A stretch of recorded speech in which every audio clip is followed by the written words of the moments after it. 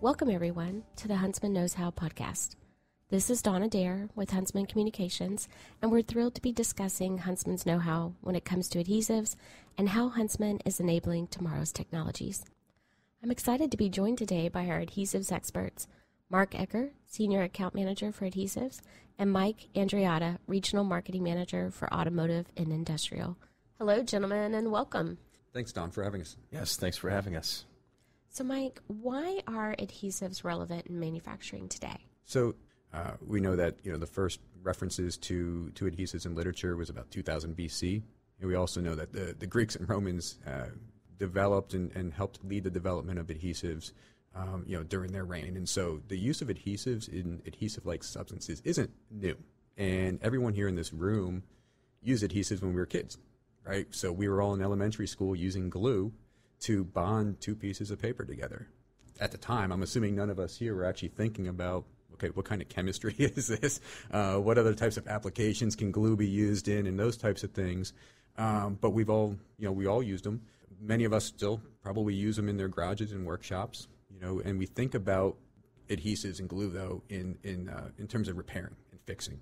And there are industrial MRO applications where you know people are going off and, and using adhesives to fix and repair. You know whether it's wind blades or you know, parts of manufacturing plants, et cetera. But most of the applications that we're seeing are OEM related um, in designing and building new materials. You know that have increased and improved strength and performance and sealing and protection and you know structural integrity, things like that. So um, you know they're very prevalent. You know still to this day uh, you know, specifically, you know, pertaining to Huntsman, our uh, Araldite branded adhesives were launched in the 1940s, initially, you know, as a DIY application, but then soon moved into you know, aerospace and industrial and automotive type applications.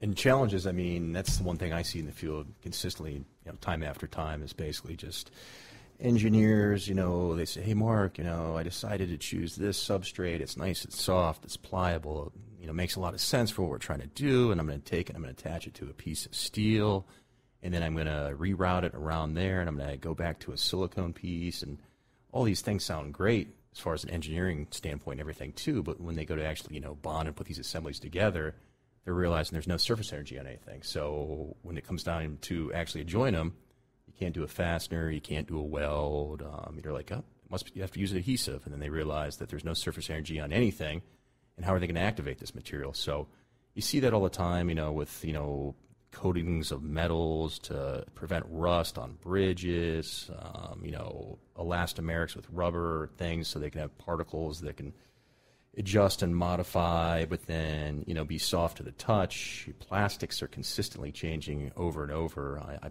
constantly reference a, a, plastics bonding guide I've used for years that I literally have to use the link because there's so many different plastics that are updated all the time. So they're you know low cost, uh, lightweight, lightweighting. So there's just constantly changing. So the problem and challenge I see all the time is you know how are we going to put this widget together at the end of the day? Mm-hmm. You know I think the thing is people don't realize that you know adhesives everywhere. Um, this room we're sitting in right now, I mean, there's a table here and chairs and a TV and lighting and light fixtures. I mean, there's probably 45 to 50 glue applications in this room we're sitting at right now. If you were to outline it, anything from the supports on the table here to the um, the outlet over there and behind there, and the insulation and the wires to the lighting to the bulbs. There's probably 12 different glues in this TV over here, the computer, microphone, it's just it's just people don't realize if you uh, there's adhesive beads and lines and you know adhesive everywhere you go. So you're protecting and sealing with just about you know everything you can possibly think of. So, what are the top reasons why people choose structural adhesives? Um, well, there's handful of them. Um, top of my head, and as far as what's most relevant today, I would say the most popular I'm encompassing every day is probably lightweighting products. You know, automotive industry is a perfect example. I mean, you know, cars used to be you know welded and fastened, you know, t- all the way through the beginning since Model T. So if you look at modern day cars now, basically, I'd say they're all primarily glued together. So the main thing we're trying to do there is, you know, increase MPGs, fuel efficiencies, you know, moving to carbon fiber, lightweighting, you know, higher strength with these new carbon composites. So um, lightweighting is a big one, but there's a lot of other ones too. You know, freedom of design.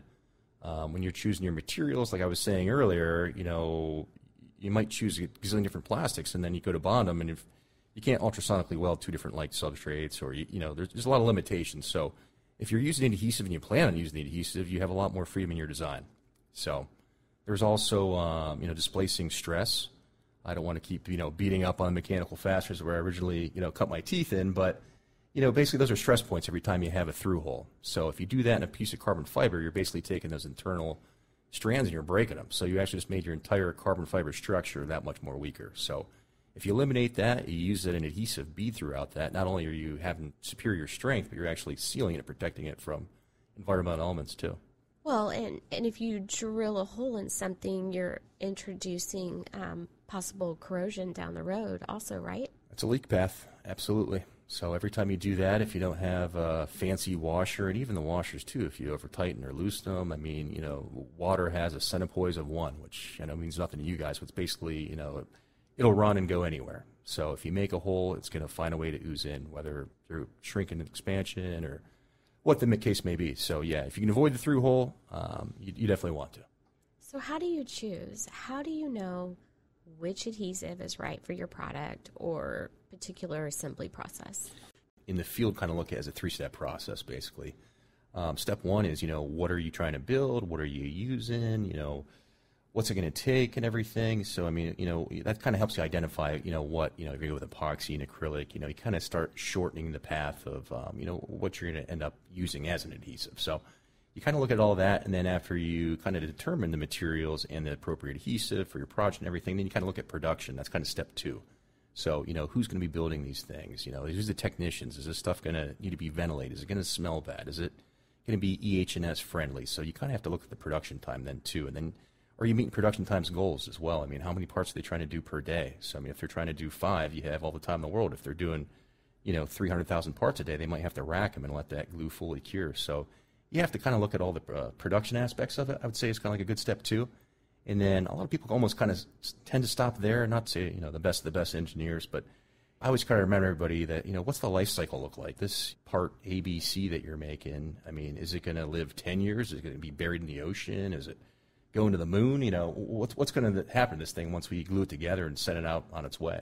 Obviously, if you don't think about that step in step three, then you know you get a lot of warranty and scrap work, and then people lose confidence in adhesives, and there's a lot of um, you know deterrence out there. You know, people put things. You know, UV is a tough one we're always challenged with. So, um, kind of got to look at it as a three-step process as far as what will you need, what does production look like, what is the life cycle, and the long term of the product look like. And you've been doing this for 17 years now. So, and I think you would probably you know, agree with when you first started doing this, epoxies was the kind of the, the end all be all in terms of what adhesive to use. But we've seen acrylics get better with you know, chemical exposure protection. We've seen polyurethanes get better in terms of UV protection. So in the past, it may have been a one size fits all. We're going to recommend an epoxy, and now you have other options. Yep. We used to say if you don't know epoxy, you know, whereas that's not really truly the case anymore. So traditionally, epoxies used to be all known as, you know, superior chemical resistance, you know, high TG, glass transition, that is, as far as before it melts. So if you need something that's 350F plus, you know, you're only pretty much looking at an epoxy. But, you know, the downside was always they were kind of brittle. There wasn't a lot of elongation. So, there, you know, that was always a challenge with an epoxy. And if you had to deal with a plastic, usually epoxies then were out. That's a good thing about, uh, you know, modern day acrylics, and a lot of those are in the Araldite 2000 line as well, too, that, you know, we can actually deal with plastics. We can do stronger bite time. We can still do chemical resistance. We can do a faster bond time where epoxies were traditionally a little bit slower, but – you know, there was a lot of shrinkage if you used a fast epoxy. So, you know, we're over combat a lot of those challenges actually with an acrylic or polyurethane. So, and epoxies too. Like I said, um, you know, there are rubber toughened epoxies now as well too, and you know, they do do well in plastic. So, they've changed so much the last ten or fifteen years to basically adjust to modern day substrates. Yeah, you can tell the conversations have definitely changed, uh, at least even over the last couple years. So earlier you mentioned freedom of design. So when we look at all the types of products that are on the market today, right, they're sleeker, they have curves, they're crazy in different shapes, and I would assume that without adhesives, um, if you were having to bolt or rivet um, any of those products, those sleeker designs wouldn't be possible. Yeah, I, w- I would agree with that because you're looking at automotive um, industries like aerospace with the you know, kind of all fiberglass, you know, composite construction uh, materials. It does allow for the sleeker, more curvy exterior that you're talking about. But requiring adhesives where if, if you had you know your typical aluminum that's when you would be using you know your bolts and your, your fasteners etc so i don't think you'd be able to see the, the slick designs that you're seeing now without the without the adhesive look. So i think you're absolutely right don. So can you give us some examples of applications where using adhesives positively impacted the design of a product so we recently had a really cool example with, and we just touched on it, but the um, uh, an all composite construction aircraft that we were working on with the customer. The, uh, the fuselages, the wings, all the other components were, were molded in fiberglass. So outside of the typical aluminum um, exterior that you would see, which would require then their, their bolts and the fasteners, et cetera. So by going to an all composite construction, it allowed for that sleek, you know, design u- utilizing adhesives. Yeah, like that's a great example. And then, um, you know, one that I even can think of too, as far as it was a big uh, design process, was um, a specialty trailer manufacturer. They manufacture, uh, you know, dirt bikes, quads, ATV trailers. So you can, you know, they're kind of high end toys in a way. You know, things cost a lot of money. And basically, the guy was, hey, you know, every time we do one of these, you know, we put the, you know, the racing team they represent or you know decals the next year. So you know, we have all these rivets. You know, there's a lot of leak paths. We go through drill bits. You know, tons. It takes too much time. I'd like to just glue these together, but I don't know if it's possible. So that's kind of how the conversation all began. So at the end of the day, we end up doing overlap joints and um, eliminating them all. You know, reducing production time. And when the um, trailer was all done and they sent it to the graphic designer and put the decal on it, you know, it was nice and clean. It said, you know, XYZ Racing on it not only did they not have any leak paths like we talked earlier with all the rivets and things of that nature, but they just had a nice, cleaner looking trailer. So there wasn't all those bumps and everything all over it. So that was a pretty cool, um, you know, and that's getting more and more popular too. I, I know over in the EU, uh, you know, they do, you know, for a lot of their tractor trailer trailers, they actually do do glue them over there, whereas the United States, we just haven't jumped on that quite yet. Uh, we still, I think it's like 70, 80% of our trailers are actually still riveted. So um, that's a big emerging market that we're trying to, um, you know, attack every day. Well, and I imagine if you get rid of the, the rivets and the screws, you're reducing the weight of the trailer as well. So there could be a fuel consumption savings there as well. Don, that's a great point. I mean, because basically it's kind of a catch-all. You know, we talked already about lightweighting and freedom of design, and you know, aesthetics, and you know, replacing mechanical fasteners. So I mean, it's, it's a good change for the end user, customer, and the production folks. So where do you see adhesives being used in the future? Are there particular trends that are driving the technology? Um, I mean, yes, absolutely. I mean, electric vehicle is, you know, everybody's talking about it. Uh, every conference, everything, you know, the big change with going to battery powered vehicles and the challenges that persist in the infrastructure. I mean, everybody's talking about electric vehicles. So, um, just in the last 20 years, automotive vehicles, we you know, mentioned earlier, as far as welding to adhesives, I mean, that continues to evolve into you know primary everything being glued in the automotive market. But these electric vehicles, they have these big batteries in there, and they put out a tons of heat. So you know you can have these you know catastrophic thermal runaways, you know where you know cars catch on fire and everything. So you basically we're using a lot of adhesives, not only inside the batteries to make them, but also from like a, um, a thermal protection. So you know when these things put out a lot of heat we can kind of have an adhesive, you know, um, I guess you'd say almost instead of like a, a, honeycomb, you kind of have like a filler in there that goes around the battery that kind of dissipates all that um, that heat energy coming out of there. So that's going to be a huge market with electric vehicles. I know. I think that's a great point. point, and I think what we're seeing too is, and we've, we've touched on it, is the um, continued streamlining and optimization from a production standpoint. You know, manufacturing sites are always looking to to improve cost and, and, and reduce downtime, increase efficiencies, and one of the ways they do that is getting away from bolts and fasteners and welding and going to adhesives helps you know helps uh, achieve those goals. You know, we're seeing increased bonding in, in harsh conditions. Uh, we have a lot of customers, you know, who are out in you know underwater, who have to do repairs underwater. We're out in you know really extreme wind and rain, and it's it's not easy to get up there and, and have to do a lot of bolting and riveting and, and welding. So adhesives is the you know where we want to go or where they check, choose to go uh, with these repairs. Uh, flexibility, you know, people want additional elongation and, and high flexible options. So, you know, those are the kind of things that we're seeing kind of a day to day, not only current, you know, short term, but kind of in the next couple years where the market's going to continue to go. The one I'm seeing and have been for the last couple years that's, you know, extremely important to, you know, even myself personally. I mean, I have young kids and hope to be around a long time to see my grandkids and everything too. So, I mean, sustainability is, you know, you hear that everywhere. Every single company, whether they have four goals, five, six, seven – one of them guaranteed and probably up front is sustainability. So what a big trend what we're looking for is biodegradable adhesives. So um, I do believe that's going to be the way of the future. You know, um, we recently launched our low odor, low toxicity um, methyl methacrylate, you know, part of our acrylic family in the Core 2000 at Huntsman. And basically, you know, that's, you know, kind of keeping the worker in mind. You know, we can ship that overnight via plane where traditionally that chemistry always had to go ground no matter what. So that's advantageous, advantageous to the customers. And, um, you know, it's it's more sustainable. So low odor, you know, the you know, employees don't feel like you know you're, you're changing from a methacrylate to our new low odor product.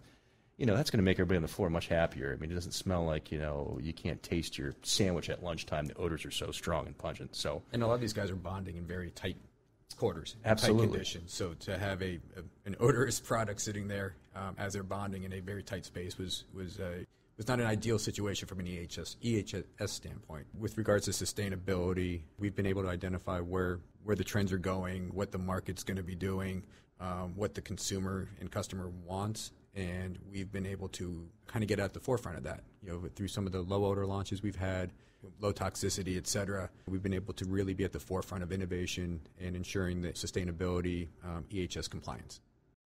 Yeah, and at, at, Huntsman, I mean, you know, you're talking to the experts. We have, you know, a world-class laboratory, application engineers that specialize in aerospace and automotive and industrial. So, you know, what sets us apart is we can take, you know, customer samples, we can tear them apart, break them apart, we can do salt spray, heat aging, you know, all kinds of stuff that customers need to basically have that, you know, confidence before they take one of our adhesives and put on one of their drawings and put it out there. So, um, I feel like myself and some of the you know past experiences, I can give them some good sound advice and starting points, and yeah, and it's a great fit for you know customers that need that detailed support and guidance throughout their project.